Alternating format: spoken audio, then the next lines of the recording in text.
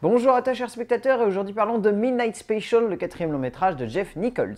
L'histoire pour faire simple c'est de Roy Toblin qui va reprendre son fils Alton à une secte qui se trouve au Texas dans un ranch et il va l'emmener dans un lieu sûr. Je vous dis rien sur tout le côté fantastique ou de SF de son métrage, ça serait très bête de vous révéler cette partie-là. Ce qu'il faut savoir, c'est que donc c'est le quatrième long métrage de Jeff Nichols, que Jeff Nichols est un réalisateur extrêmement important de la production indépendante américaine actuelle, et que c'est un de ses metteurs en scène qui sait regarder l'être humain avec une subtilité rare et avec une élégance folle. Euh, il est marqué sur l'affiche en gros, et ça a pu déconcerter pas mal de personnes, que Jeff Nichols était le digne héritier de Steven Spielberg. Oui et non. C'est-à-dire qu'en gros, pour faire simple, ce long métrage, euh, il a mis tout le monde d'accord sur le fait que Jeff Nichols abordait le même style de thématique que Steven Spielberg, c'est-à-dire la paternité et la relation qu'il y a entre un père et son enfant.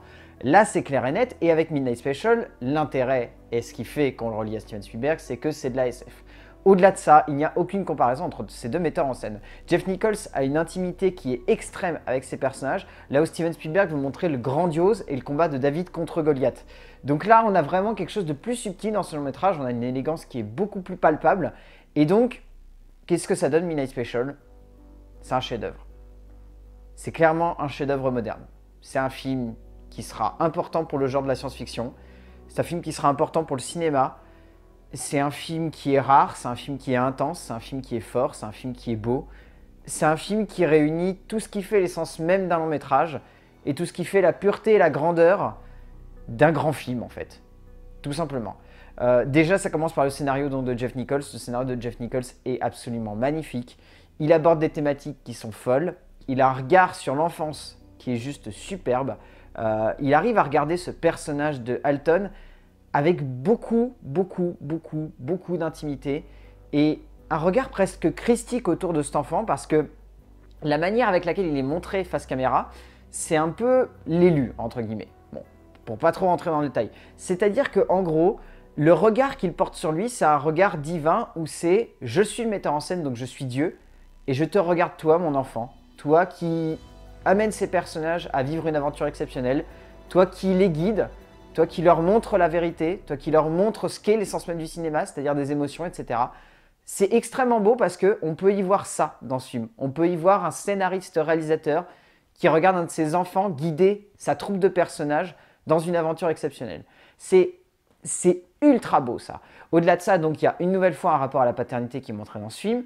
Euh, Jeff Nichols arrive à traiter la relation entre Alton et Roy avec une élégance absolument divine.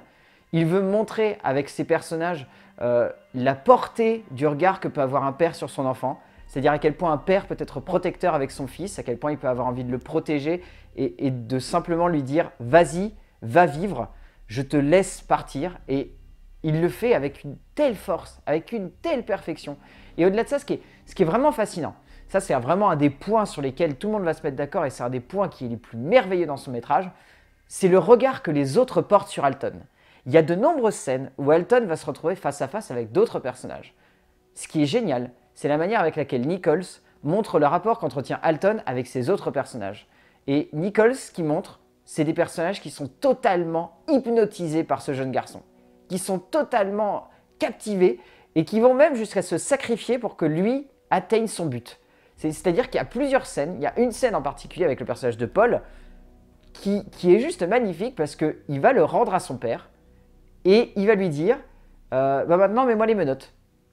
Et ensuite, il va lui dire Est-ce que tu pourrais me mettre un coup de poing? Ouais, non, c'est peut-être un petit peu trop. C'est comme s'il devait se victimiser pour arriver à faire croire qu'il avait aidé cet enfant à se libérer, mais qu'il ne l'avait pas fait exprès. C'est. C'est juste dingue, quoi, mais il y, a un rapport qui est traité entre les personnages et ce jeune garçon qui est magnifique, quoi. C'est vraiment l'élu qui est au milieu de l'humanité, et dès qu'il montre aux autres comment se débrouiller, et ben voilà, ils sont conscients de son pouvoir et ils le laissent aller. Enfin, c'est du fou. Au niveau de ça, au niveau de la mise en scène, Jeff Nichols, encore une fois, il a un regard humain absolument magnifique sur tous ses personnages.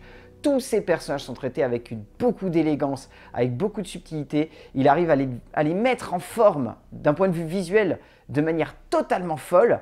Euh, on est touché par chacun des caractères qui, se développent, on est touché par chacun des personnages. Enfin, c'est fou parce qu'il n'y a pas que le personnage de Roy et Alton, il y a le personnage de Lucas qui est extrêmement bien développé aussi, le personnage de Sarah qui est absolument magnifique, qui, qui est divin, le personnage de Paul est très très bien amené aussi. Enfin voilà, c'est toute une galerie de personnages que met en forme Nichols par le biais de sa mise en scène et ça transcende totalement le métrage. Et au-delà de ça, il arrive très très bien à jouer avec la tension. Il y a de très très jolies scènes de tension qui sont euh, une très belle combinaison entre la mise en scène de Nichols, le travail de la direction de la photo d'Adam Stone et le travail de la musique de David Wingo.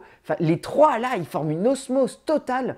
De toute façon, Adam Stone et Jeff Nichols, ils s'entendent super bien depuis son premier long métrage. Ils se sont pas quittés depuis et c'est superbe le travail qu'ils font ensemble. Il y a un très joli travail des couleurs, des lumières. Il y a un travail de naturalisme dans ce film. C'est absolument dingue. Mais on a la sensation qu'ils veulent capter une image qui est de l'ordre du réel et où la SF vient se greffer de manière totalement impromptue dedans. Et c'est super parce qu'au résultat, il y a un très joli rapport qu'ils arrivent à faire entre le travail de l'image et ce qui vient se greffer à l'image. Et c'est extrêmement élégant. C'est vraiment superbe et la musique de David Wingo accompagne cela avec une élégance totale. Au niveau du casting, là, il y a un casting 5 étoiles sur ce film. On a Michael Shannon, qui revient pour la quatrième fois avec Jeff Nichols, acteur absolument magnifique, qui est là, est impérial. Vraiment, il livre sa meilleure performance à ce jour, Michael Shannon, c'est clair et net. Jaden Lieberer, le jeune acteur qui joue Alton, est magnifique. C'est une vraie révélation cet acteur. Il est transcendant de beauté et il est pur. De... Son jeu est d'une sincérité totale. Kirsten Dunst, euh, Adam Driver, Sam Shepard, Joel Edgerton, ce casting est superbe. Il n'y a aucune fausse note encore une fois. Enfin, il est avec tout le reste du film, c'est-à-dire dans l'ordre d'un chef-d'œuvre.